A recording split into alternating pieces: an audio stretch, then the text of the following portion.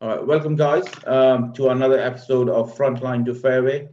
Uh, this time we are introducing March Fore Mulligans. Um, we are joined by three um, guys here, OCF member Del Sullivan, and with his two former colleagues uh, from Royal Anglian, um, Mick Abbs and Richard Jones.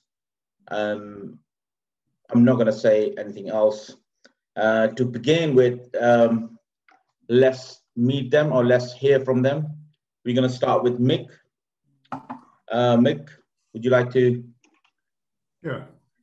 Hi, Jim. My name's uh, Mick Abbs, and I served with Two Royal Anglian, the poachers from 1977 to 2011, um, in which time I served in Northern Ireland many times, Bosnia, uh, and Iraq. Um, my sh short stories, often during my service, I felt how lucky I was to escape relatively unscathed while close friends and colleagues have been seriously hurt or worse. Um, it was only when I was working at the, the Open Golf a few years back that I became aware of the On Course Foundation uh, as they were visiting the event.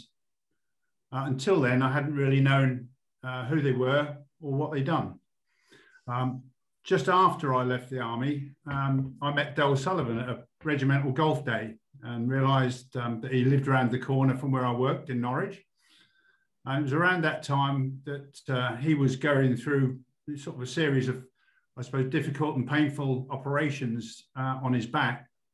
And that's when I saw firsthand the help and the support that he and his family received from the On Course Foundation and how much the camaraderie of the OCF, what it meant to him in aiding his recovery. Um, in this last year, participating in many of the, the Zoom meetings with the OCF beneficiaries online uh, has also enabled me to build a, a better picture uh, of the personalities and individual challenges that they all endure. And then when Del told me of his plan to raise funds again this year, um, I was really honoured to be asked to assist in the planning and the execution of what is known now as March Fore Mulligans. Uh, as the very least I thought I could do to help raise funds for such a fantastic and worthy cause. Oh, that's great, Mick. Um, Richard, would you yeah. like to share your? Yeah, cool. So the only person who ever called me Richard is my mum, and hopefully she's not in the room here. So, my name's uh, Jonah Jones. Uh, I'm with Del in the 1st Battalion, the Royal Anglian Regiment. Served for 29 years. I'm still serving now. Uh, I've been in the reserves now, the 3rd Battalion, the Steelbacks, for uh, six years. Uh, I've served in all different sorts of places Northern Ireland, Bosnia, Afghanistan.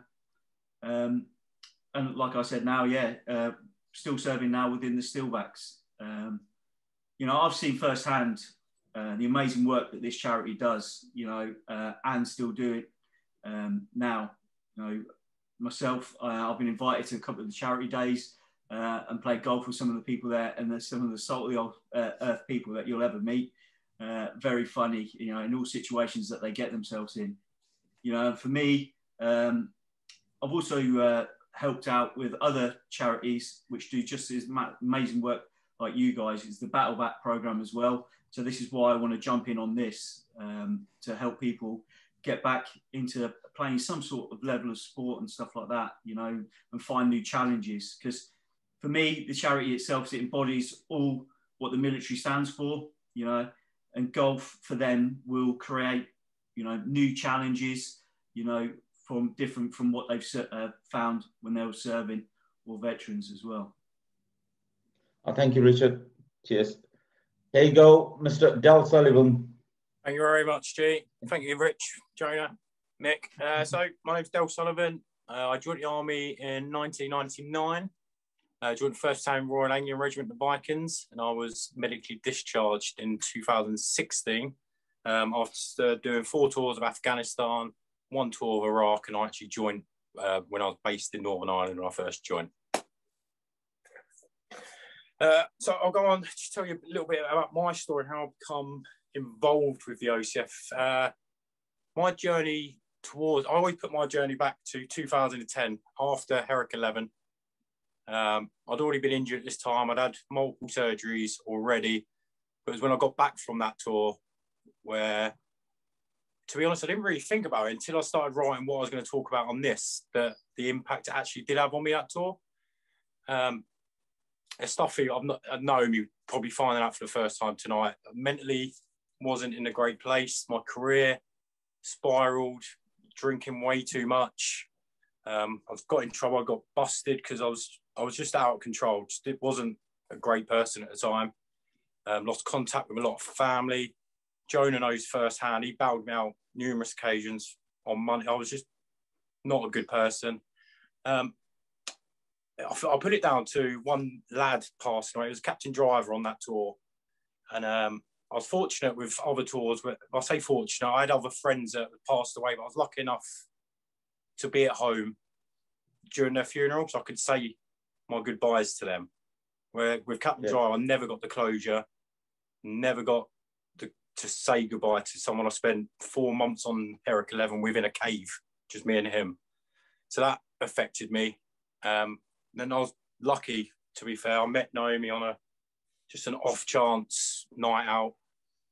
Um, and that kind of got me back on track mentally. But I kind of, this how much I didn't like who I was. I lied to Naomi about so much about me and who I was because I, I, was ashamed of who I'd become.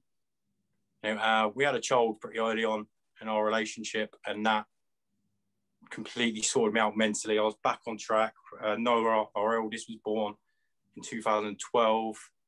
We then got married. Everything was going smoothly.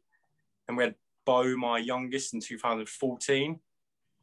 So I settled down. I was still serving in the army at the time. I'd had all my rehabs. Things were going great again. I was back. I had some kind of army career, not the career I wanted because the injuries wouldn't allow me to. But uh, unfortunately, in 2015, just on a normal run, the metalwork I had in my spine gave up on me. One of them, one of the bolts bent, resulted in me having to have my surgery, final surgery to this date in 2016. And that's when things got really bad medically, more physically than the mental side of things. Then, um, mentally, it affects me because the surgery didn't allow me to be the father I wanted to be. Couldn't look after my children how I wanted to. If they cried, I couldn't pick them up. I couldn't play with them. It was um, uh, you know, it was tough. Noah was four at the time. He was helping me get dressed in the morning. Um, I don't really talk about it. The closest people to me won't know what I go through day in, day out. Even now, it's medication. I joke it off because that's what we do. But I was lucky. On Course Foundation found me um, middle 2016 in Colchester. I think I bumped into Mark. He was the first person I bumped into. And um, OCF couldn't wish for a better front personnel staff, Mark, Will, yourself, G, the professionals are just most unbelievable people you've ever meet in your life. They changed my life. They changed Naomi's life. She might not know it at the time because at the time she probably thought I was just swanning off playing golf because I didn't tell her the true impact it was actually having on me mentally, just getting out, meeting people, meeting people. I, I, I you know, mentally you get in your head, the doctors, surgeons say, oh, you won't play golf again. So you think you won't. It's not till you go to a three day event and see yourself, G, uh, yeah. playing golf. And you think, yeah, if G can definitely. do it, if G can do it, I can do it with a bad back. you know I mean? That's the way I thought about things. And that was it. Um, my life's just gone on. And I think the OC, OCF was a journey. And I think it's done that journey for me. It's got me at my worst. And it's got me where I am now, working, got me in a job at Barnham Broom Hotel. I'm playing golf, and now it's my turn to help others that was in the same situation as me. That's that's great, Del. No, that's great. Um, um, sorry to um, interrupt, but we forgot to introduce Mark. Uh, was was with us now. He's relevant anyway. yeah, yeah. Um, he's obviously everyone knows Mark. He was our guest the last time out on Frontline Fairway. Um, and Mark, would you like to ask some few questions to Del? Yeah, Del, I, I, did want to ask you if you could just maybe cover how the charities helped you, just in a little bit more detail. Not you know, not not too long, but just a little bit more about the things you've done over the last few years. So within the, oh, to be fair, uh, to say, I'm not going to say the charity saved my life because that would be it saved certainly saved many of people's lives that I've spoke to. I had my family that was always I had, but it changed my life in ways that no one could understand. Um, I didn't know where I was going at the time. Didn't know my future.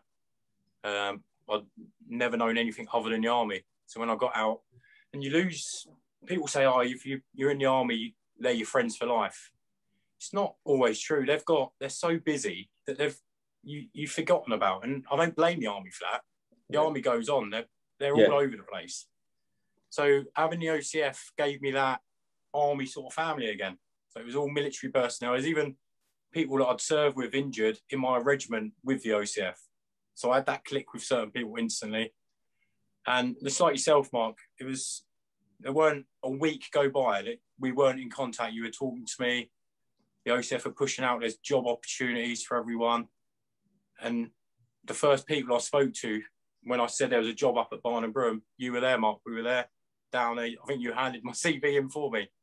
And and that's what yeah. and and they've not thanked you ever since. but that's what it does. It, it changes people's lives for the better. Yes, yeah, true. That's true. Um, yeah, I mean, Del, I, I just just before you go on, um, I, I will say, and it's said it quite a lot. Mick, Joe, probably back me up on this. Guys don't always see the changes in themselves over a period of time. We see it because we see them at the start point and we see them make this journey through and the changes that they are. So you guys will have seen it because you've known Del for a few years, but you know the difference in where you were back in 16 to where you are now is quite significant. I, I don't think there's any question about that. That's unbelievable, completely. Yeah, no. yeah I saw it firsthand. The ch- before Del got to know the OCF and stuff like that. Just you know when he was in his dark places and stuff, just me grabbing him and taking him to the driving range. You know, just you know, me and him going to Top Golf nearly every single week. You know, just going there, just you know, the total different person in him once he's there with a club in his hand. You know, and that's how golf can change all these people. You know, for the better that is as well. We we used to avoid each other on the tee. back a few years ago, whenever we were together on the tee, we would both make a complete hash. And remember at the Oxfordshire. So, so Mark Mark actually cost me a place in the Simpson Cup. he told me about that as well. yeah, yeah, yeah. Um, G, do you want to move on to the to the next bit? Uh, yeah, we. I think I think we're going to go to the main topic now uh, for March Fore Mulligan. So, Del, would you like to explain what what is a March Fore Mulligan? Of course, yeah. So, March Fore Mulligans. It uh, took us a while to think of a name. To be fair, me, Mark, and Mick were like, I'm in an hour, and I was on one of my random walks. I think between me and Mick, we got the name. I mentioned Mulligans and walking, and we got the March Fore Mulligans. So we were originally going to walk from Royal down Liverpool, and finish in Norwich at uh, Barnham Bromwell work. Obviously, with COVID restrictions, we had to change. Uh, I think we only changed about four weeks ago. We went com- four weeks ago. We went to confirm yeah. on this. That's right. Yeah. Um, yeah. Mick's planned the route um, around Norfolk. So seven marathons, seven days. It's going to be tough, but I couldn't think of two better people to be sharing a week with. Um, Jonah and Mick, who have been there for me. Um, and hopefully we raise as much funds as we can for other members of the OCF. I don't, I used to do these sort of events selfishly for myself to give myself something to do. But I'm in a place now where I feel like I can do it for other people to hmm. recover like me. Yeah, What's what's the background on marathons? Why why marathons? Uh, I'll tell you what it was. It's because so I've run the uh, I'll say run. I shuffled the London Marathon in 2008. then uh, I think it was lockdown one. I was due to do the London Marathon again last year, and I said to Naomi, I can't do it. I want to do something on that day. So I said, how about if I shave my hair to 2.6? she was having none of it. And then on the Friday, I thought, why don't I just walk a marathon then instead? And so I walked it, and it was about a week after. I see, I swear I must have seen something on social media about it, and then I just thought, how about we walk seven and seven? Can't be that hard. I've regretted it ever since mentioning it to Mick, if I'm being honest. so have I. that it's it's going to be quite hard, but it's challenging as well for you as well, Delar. I think.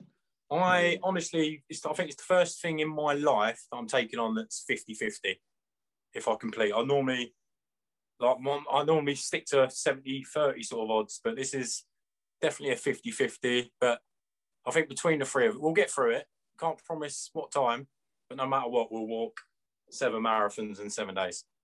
So, what kind of preparation are you doing, kind of thing? Three of you, to, uh, obviously, because of the restriction and everything. Are you doing anything to, oh, just walking on the treadmill? No, I think, um, well, for me, what I'm sort of certainly with the local area, you know, with the, with the restrictions, you're, clearly you can go out on your own, and I think that goes for all three of us. That um, um, you know, we can just get out and walk the normal, um, the lanes and the and the sort of country roads around here. Um, it is it is tedious doing it on your own. I mean, however long distance runners do it, I just don't know. But but they do it a lot um, quicker, mate. yeah. when you when you're trying to cover a few, you know, a few miles and it's three or four hours, you know, there's only so many podcasts you can listen to. But um, that's what we've sort of done so far, and so hopefully we can sort of start, um, you know, getting getting out and well, once the event starts, thankfully we've got um, we've got some other, you know, we've got some other people to talk to, other than Del. Yeah, it's been a, it's been. So I, I'm quite fortunate. I've got a training partner here as well, local to me, so we can go out in our pairs.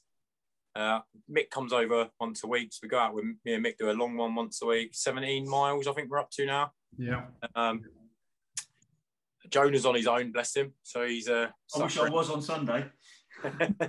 um, but training's going well. But I don't think you can prepare for this because at the moment I walk 17 miles and I'm not in great shape the next day, so I can't go out for a long one. So it's going to be a complete new experience when we start it. Mick, Jonah, just a question for you two guys, really.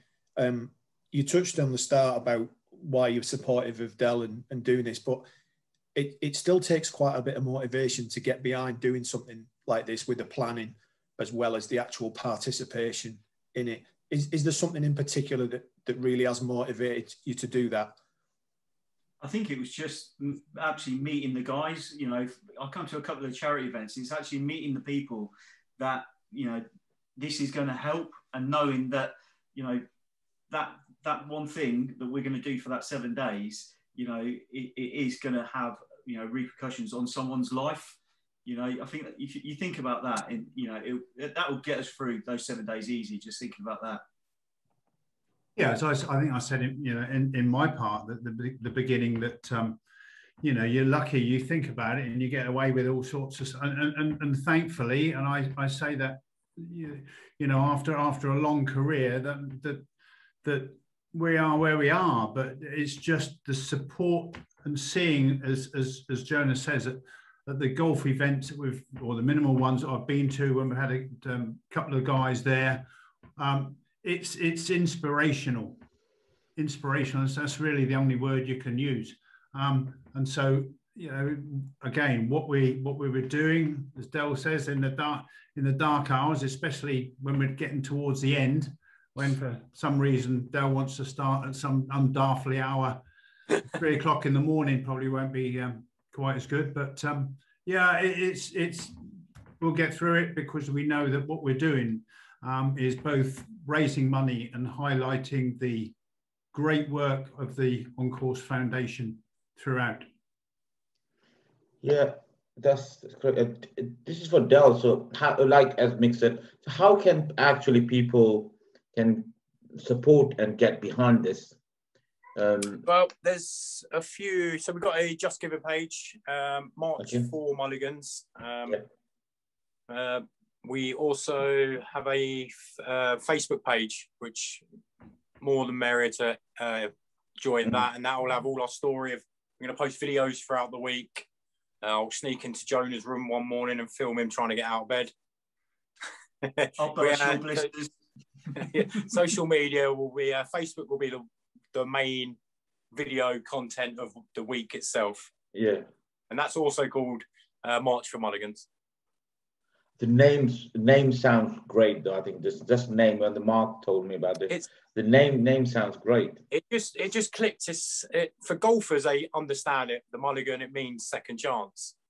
Uh, we have to used to explain, show. Yeah. yeah, and we uh, we have to explain that to people that don't play golf what mulligan means. But once we've explained it, they all say the same. It's brilliant. Second, that's what we've all every member of the OCF's been given that second chance. Yeah. Definitely. Definitely. Mark. Well, I, I was just going to say, um, firstly, I think on behalf of the staff at the charity and, and all the other beneficiaries that are out there, um, thank you, first of all, Yeah. Definitely. for the effort of the week that you're going to put in, but also the preparation, because I know the preparation, you, you know, you guys have all been doing. Um, I see it every day on the chat group. Um, so thank you, firstly, on behalf of everybody. And I think, secondly, good luck. Need that, that, that's what he needs. Good luck with the weather. Good luck with putting up for him, with him all day. For yeah. eight Yeah. Is that Mick or me? you. Yes. No. Well, it'll be You a great. you haven't mentioned. Yeah. I was just going to say, Mick, it's an it's a fantastic challenge. It'll be hard work, um, but I'm sure at the end of it, having done a couple of sort of challenge things myself, at the end of it, you will feel duly rewarded for the efforts that you've put in. Yeah, Hundred percent. Great. Yeah, definitely. Yeah, definitely. This, this is great. It's going to be a great, you know, great. I think great challenge for you guys as well, and plus, it's a great effort. And um, yeah, as Mark said, thank you very much for what you're doing for us. You know, for OCF and for all the members. Um, No, you know, obviously, thank, thank you guys for your support as well. You know, obviously, Mark, with you guiding us in the right direction, how best to do things, because obviously you've done all this before. You know, you know, never when we not we put a question on the group, you're always there with the the sensible answer, because us freaking in tears don't come up with the best one. no, but thank, thanks for the OCF as well. yeah, that's that's great. Yeah, hopefully we can. Um, um, I can join you on the last day. I think. On a Yeah, garden you group get where- our yeah, round golf with us, G. yeah, on the last day. That would be great. Yeah, Look forward to seeing you, buddy. yeah. Hey, make sure he walks a, a little bit as well. Don't let him. No, no, no buggies allowed. He's walking the whole thing.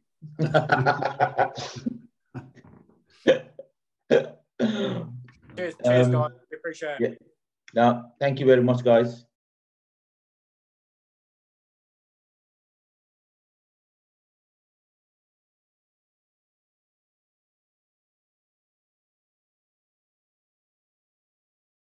Okay, um, welcome, guys. Again, um, we have um, Del's wife with us, Naomi, um, who's going to share. Uh, she, she's going to give us a small talk. And Mark, would you like to ask a few questions? Yeah, Naomi, how are you? I'm good, thanks. Good, good. um, we've obviously spoke to the guys about March Mulligans and why they're doing it. Um, it's it's quite a significant undertaking, particularly for Del. Um, so we just wanted to ask you a couple of questions about um, the impact, really, that things have had on you and the children since Del's final surgery. Really, we we know about his injury, so it's really about the impact that it's had on you and the children. I think for me, um, meeting my husband when he was not fully fit, but he was able, he was fine. We were able to, you know, go off and do things. Um, and then him having the surgery, and then him, and it wasn't just you might not play golf again, it was you might not walk again. So it was, you know, he was the one that went out and worked. I was home with the children. I moved around wherever we went, you know. So that was a massive worry. One, that he was going to be, you know, unable to walk. What were we going to do? Two, oh my God, you know, I'm at home with children. Who's going to work? Who's going to, you know, pay our bills kind of thing. Um, so that was a massive worry. And I think that I didn't really realize how injured he was. And I thought it was going to be fine and he'd just get up and he'd be, you know, it would be over with. It wasn't until we turned our dining room into a bedroom for him that I realized actually, I don't know how this is going to go. And for the children, you can imagine, you know, when they're young, they've got a trampoline in the garden, they want to play football, they want to jump on the trampoline, they want to um, they want to do everything, but daddy can't do it because daddy's in bed. Daddy can't, you know, want to go out for a walk with the dog. Well, we can't because daddy can't move. Daddy, you know, and even I think as he got a bit better, it was still a challenge for him. So I think it totally flipped everything on its head for us as a family. You know, for the boys, they didn't quite understand it. And like I say, Del made it a bit of a game that Noah would help put his socks on in the morning. But it wasn't a game because Del couldn't put his socks on on the morning. But Noah didn't know that. So it was trying to find ways to keep the boys kind of involved with daddy, but not jumping on top of daddy. Um, and I think that was tough for them. I think that was really tough for them. Why can't daddy come and play football? Why can't daddy wrestle around on the floor? And mummy wasn't going to do that. So not what mummies do. you know, because I was also I my time was taken away looking after Del because after that first lot of surgery, he was bedbound for a while. So it was me trying to juggle him the children. And at that time, I had started a weekend job to try and bring some money in as well. So it was really, it just completely flipped our lives upside down. Um, and when when did you start to see things start to improve? I think when he started going off, and yeah, I did just think he was going off and playing golf all the time.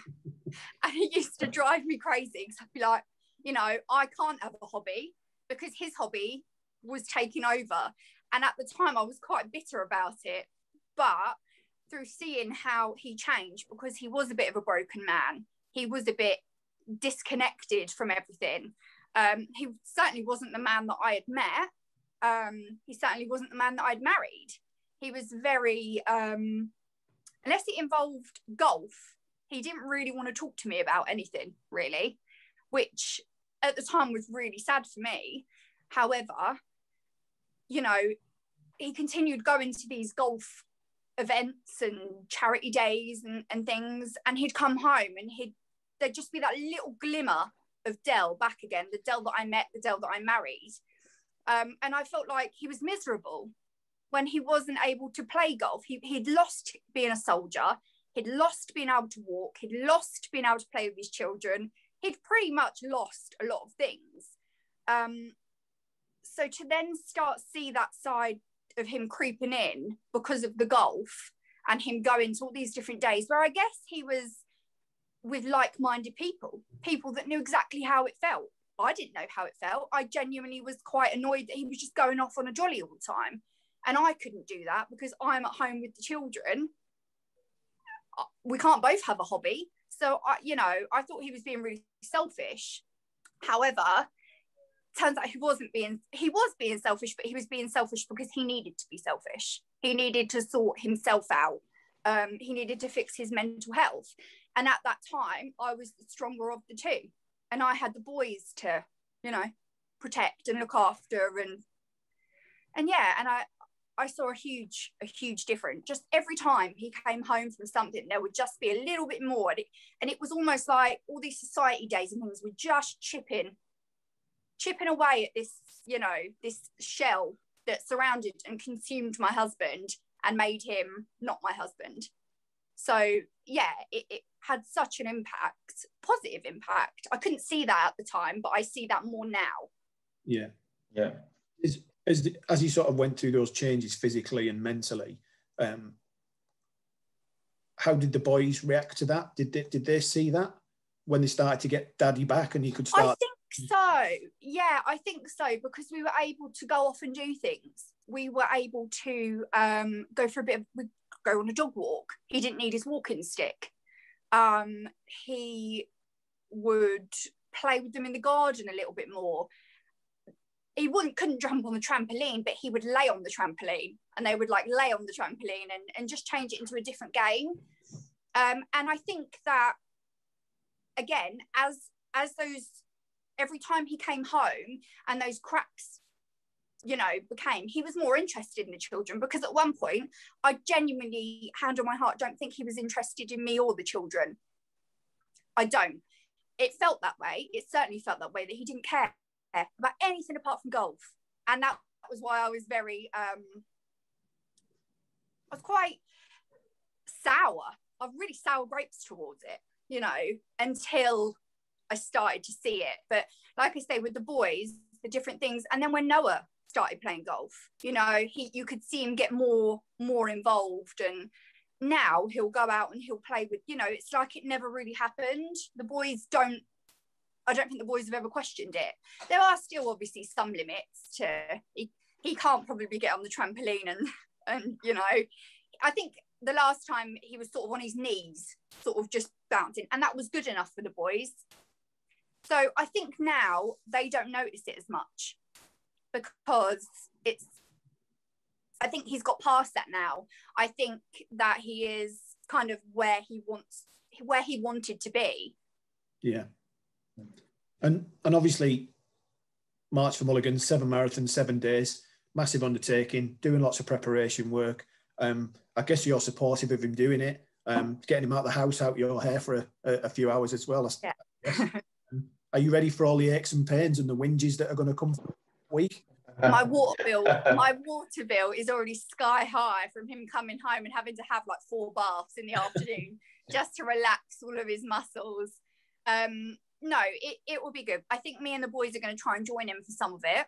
Um, I'm not promising we're going to do a lot of it because it just won't happen. And of course, I work a full time job now as well. Um, so I'm, you know, working.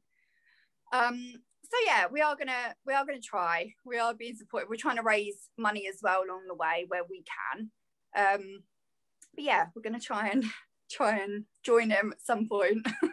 yeah, well, well, I think that would be nice, wouldn't it, if you could with yeah. the body for, yeah. a little bit. It's it's almost like the, the the culmination of the journey you've all come through together, haven't you? To yeah, yeah I think we're going to try and join him on the day that he goes around the city here yeah. in our hometown. Yeah. So you know, our home city. Sorry. So it's nice and nice and easy. It's not, you know, it's fine for the boys. It's not rough, tricky terrain for them. It's it's pavements and it's it's walking around a city that we're used to as well for them. So it, I think it will be yeah. And they know Mick and they know Jonah as well. So you know, hmm. yeah. Good. Well, Naomi, thanks thanks for sharing your thoughts and feelings. Yeah. It's yeah. It's talk about. Thank you. Yeah. Clearly been a difficult time as well early in the earlier days. So thank you for sharing that. And um, again, I think we wish yeah. Family all the best going forward. Thank you. Yeah, yeah. Thank you very much. As um, as Mark said, um, uh, as an injured soldier, uh, I know how um, family is a very important part of your life during your rehab process and I think uh, he's got like a strong partner, you know, with uh, as you. So he wouldn't agree to that. Yeah, hats off to you. and uh, yeah, definitely. This is where uh, I'll jump into. Don't pressure yeah. too much, please. yeah, definitely. Yeah, so you needed that. You know, you need that uh, during your rehab process. You need a strong partner, uh, family with you. So, and I would like to say uh, good luck for your fundraising event whatever you're doing, Del, that's that's amazing, man. What whatever you're doing, um, you've done before as well as a marathon, and now it's, it's, it's a really tough challenge for you. And I I, I'm, I hope you're gonna do it, and I, I, I bet I'm gonna bet for it. Um, um, and good luck, and thank you, Naomi, as well, and You're good welcome. luck as well for your future. Thank you, Mark.